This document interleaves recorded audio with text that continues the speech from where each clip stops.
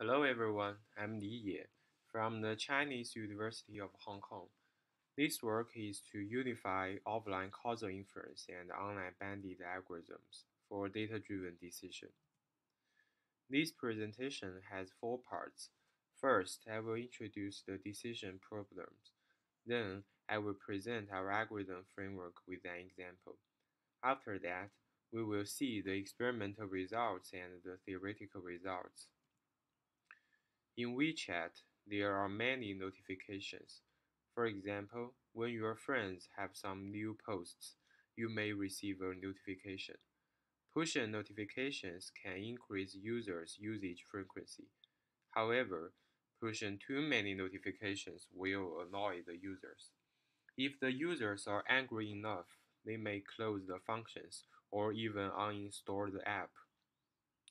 WeChat can change the frequency of notifications. For example, now the top stories functions only pushes notifications in the evening. Previously, they push a notification every time your friends recommend some article. Then, one of the decision problem is how frequently should WeChat push notifications. We want to introduce one more decision problem that is how to place the advertisement in the feeds. We know advertisements produce a major income of internet companies like Google or Facebook. In a feed system like Instagram, there are two categories of contents videos and images. In the feeds, a user will first see the content above the ad and then see the ad. The content above the ad could affect users' behavior on the advertisement. Regarding to the contents above the ad, there are two decisions. The first decision is to place an ad below videos, and the second decision is to place an ad below images.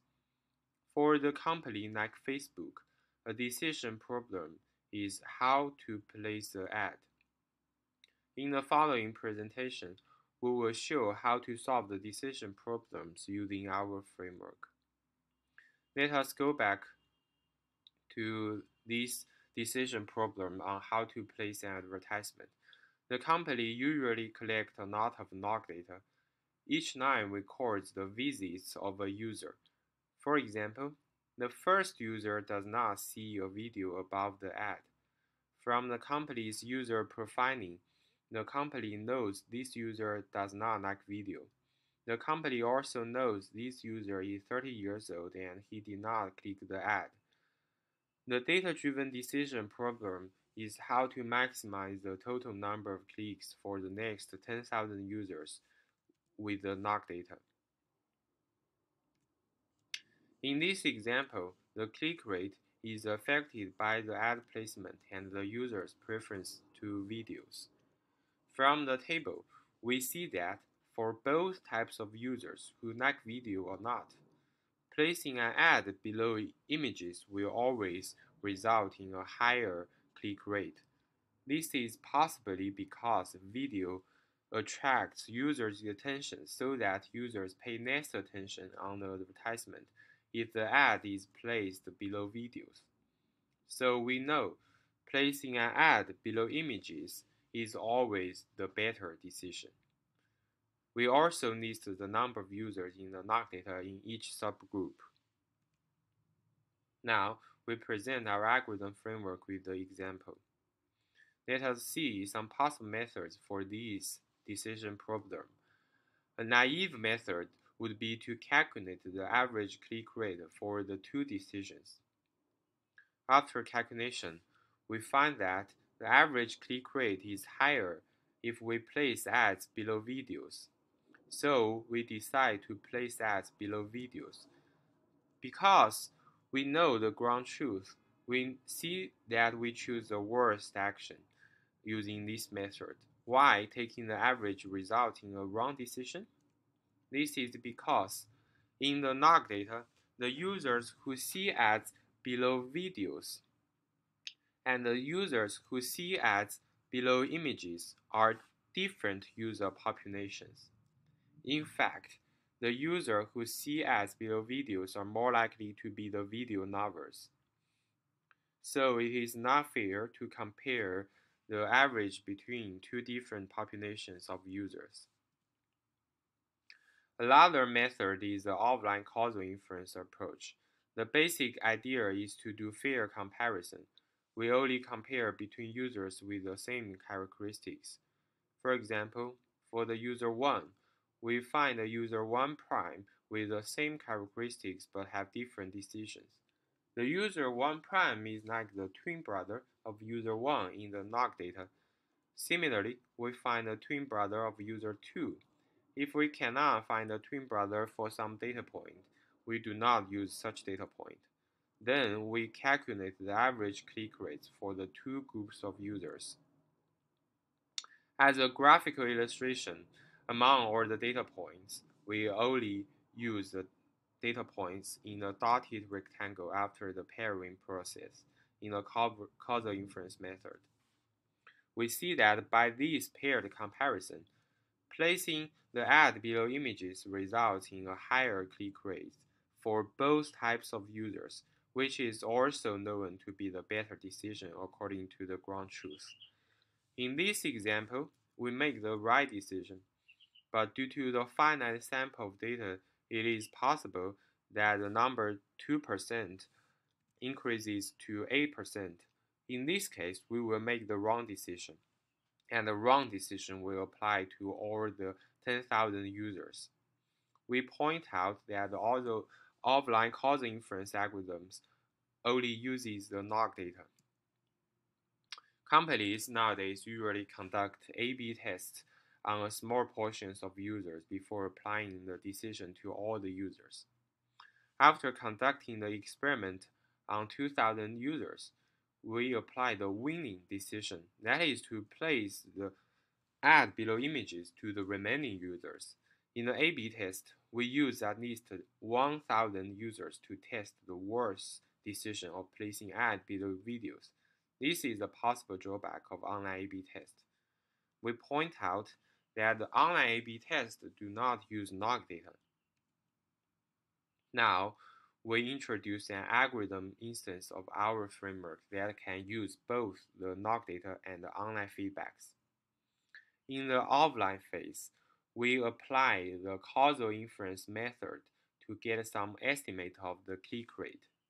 Then, we know placing the ad below images can result in a higher click rate. Therefore, for the first 100 users, we give more traffic to decision 2, that is to place the ad below images. Similarly, for the next 100 users, even more traffics are distributed to decision 2, as we are more certain that decision 2 is the better decision. Our algorithmic framework consists of two parts. In the online learning part, we directly adopt the existing online learning algorithm like UCB or Thompson sampling or linear UCB. In time slot t, a user with context xt arrives. Then the online learning oracle plays an action AT. After that, the online environment gives a feedback YT. In the offline causal inference part, we use the log data to simulate feedbacks in order to train the online bandit oracle. First, the context generator generates a context X. This is to simulate the arrival of a random user. Second, the bandit oracle chooses an action A.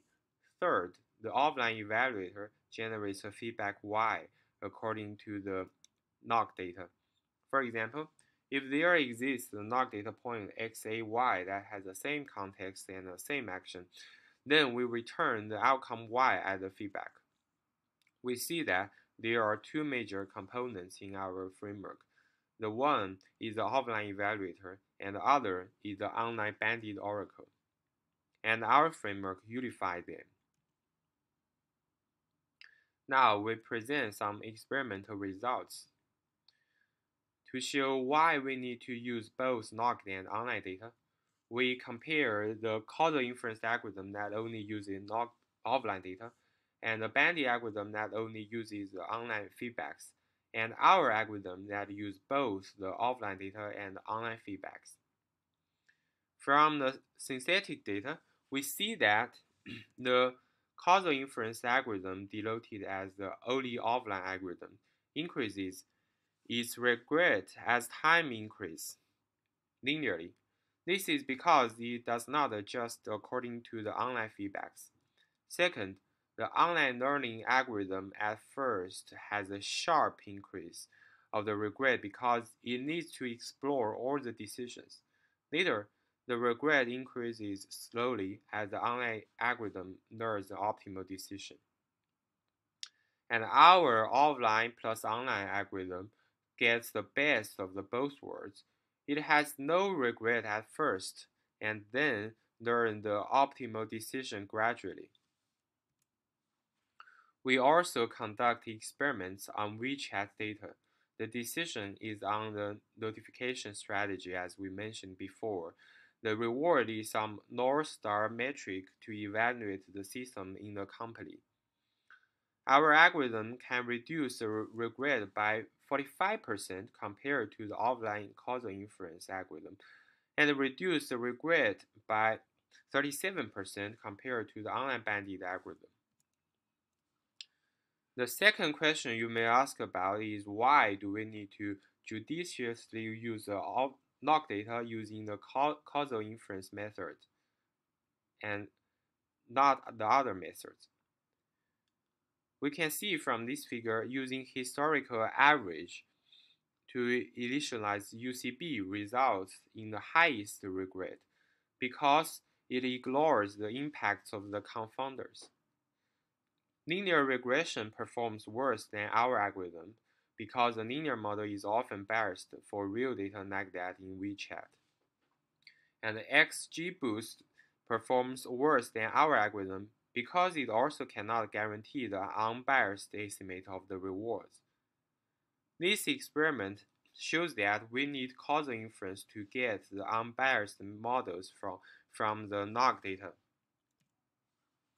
In WeChat data, we also compare the non-parametric forest algorithm and the linear model-based algorithms.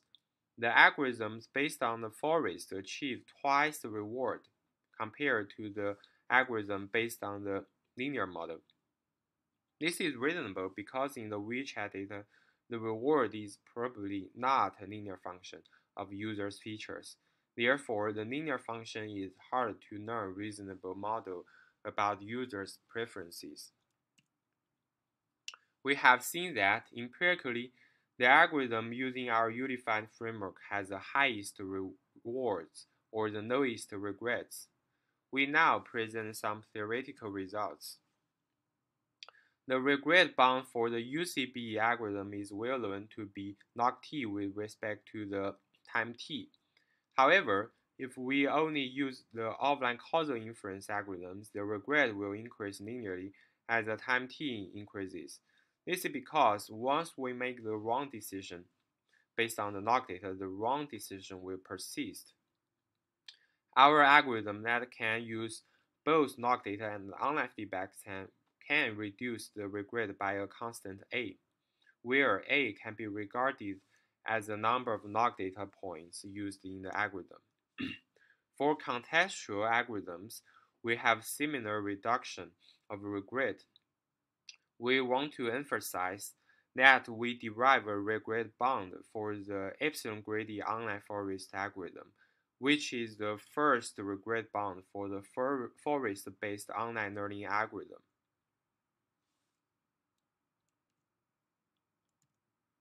For more details, please read our paper. Thank you.